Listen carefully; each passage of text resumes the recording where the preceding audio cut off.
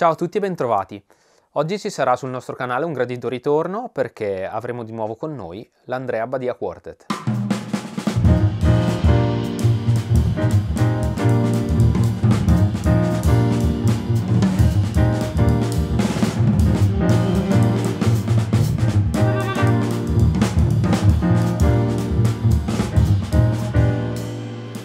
Vado a microfonare comunque tutto anche close, poi lo uso all'occorrenza. Io vorrei avere un suono di insieme che possa essere ripreso dal microfono ambientale per poi mh, diciamo condire tutte quelle che sono le riprese spot che noi andiamo a fare. Mi stavo chiedendo se fosse più funzionale farti suonare comunque con l'amplificatore considerando che non ci sarà monitoraggio di nessun sì. tipo o meno. Ah, infatti siamo senza cuffie. Esatto, sì. io volevo farvi suonare proprio live. Ok, allora te lo, te lo porto.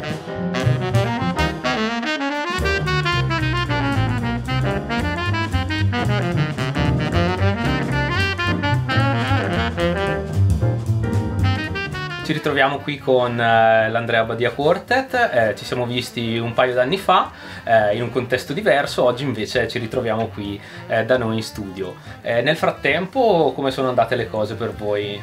Ah, sono andate molto bene, innanzitutto grazie per averci invitato qui da te nel tuo mondo. le cose sono andate molto bene, abbiamo fatto oh, due tour, questo è il secondo dall'uscita del disco Maschere, abbiamo girato un po' l'Italia, abbiamo fatto anche qualche capitale europea e ci stiamo divertendo mo molto e più mh, mm, suoniamo in giro per l'Italia più si rafforza l'interplay fra di noi quindi eh, come in tutte le cose più si va avanti e si migliora sempre di più. A questo proposito quindi mi viene da chiederti, eh, da chiedervi, eh, mh, quando è che nasce il, il quartetto con questa formazione? Allora noi ci siamo conosciuti, io con Alex ci conosciamo da quando eravamo musicisti in erba. Studenti. Studenti. Tuttora lo siamo. Studenti, eh, come siamo ancora adesso. Poi lui mi ha presentato i due maestri Leno Petrarca e Luca Paravallo, abbiamo fatto un evento privato insieme e vedendo che si era creato subito un bel feeling sia umano che musicale, insomma, uh, ho deciso di coinvolgere in questo progetto, è nato questo quartetto che sta funzionando sia dal punto di vista dell'amicizia che dal punto di vista musicale. Mm-hmm.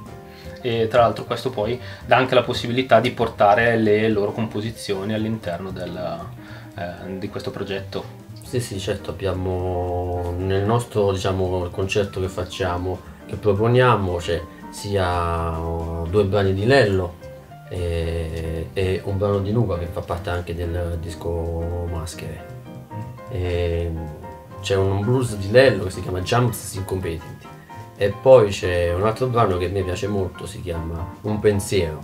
Eh, lo vuoi illustrare tu? Sì, Un pensiero è un brano che è nato durante eh, un periodo difficilissimo per noi, non solo per noi, e mi riferisco a quello che è successo pochi anni fa, eh, nel periodo della pandemia.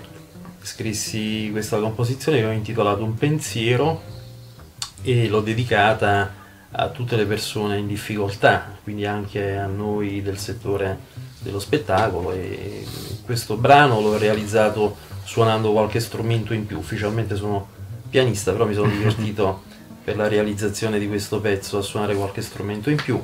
E l'ho inserito in un mio disco che è uscito due anni fa e Andrea molto gentilmente lo ha preso in considerazione e quindi è diventato un pezzo eh, del programma che appunto suoniamo eh, nel suo concerto.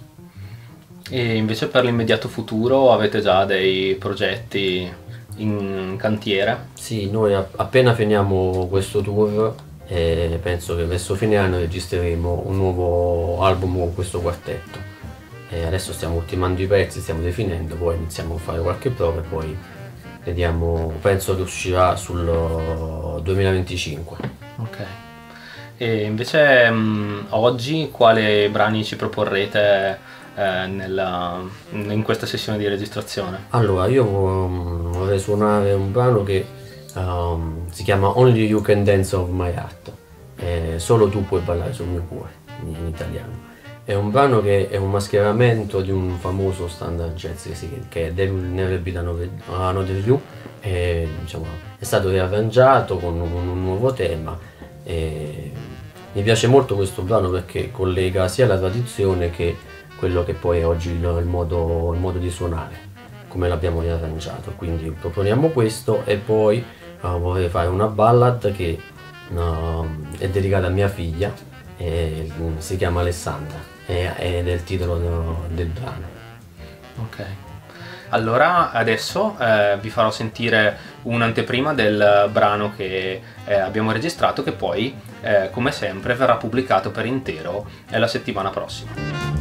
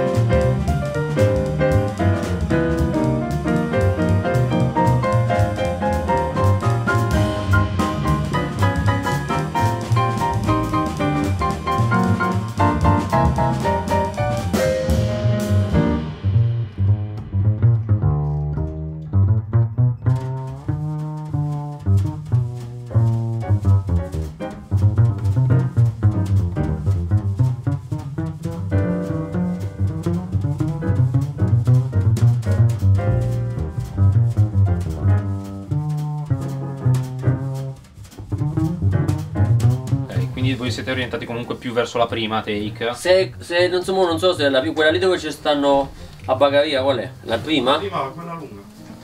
Se, se si, perché se lui ci taglia solo quelle, quelle battute, 16 battute, quelle 16 battute di. Ma se bisogna vedere come cade. Eh, dobbiamo vedere quello. Ok. Perché se riesci a tagliare quel pezzo che diciamo funziona è la prima sicuro, capito? Okay. Bagaria, Um, quindi solo un attimo, magari se vediamo subito qual è il punto. Sì.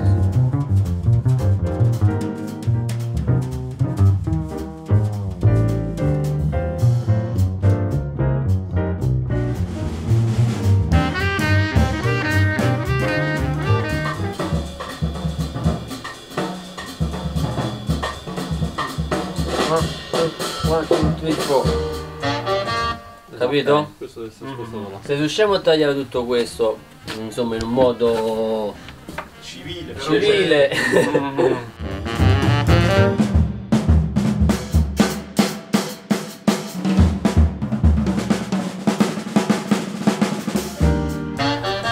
ok, secondo me un questo po- è taglio, eh. poco poco dopo forse.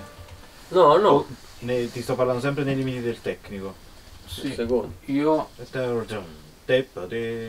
io qua praticamente ho preso come riferimento la cassa, okay. quindi ho messo la cassa eh, sì, sì, no, da incollare sopra la cassa precedente, quindi esatto. il colpo è proprio nello stesso okay, punto. Ok, Però... Ce la puoi far sentire ancora da un poco prima? Certo. Ci arriviamo? Sì.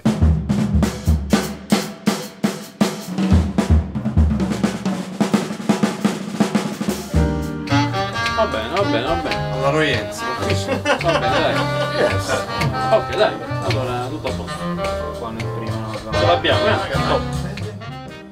Ho appena salutato Andrea e i ragazzi, è stato veramente un piacere poterli avere di nuovo con noi.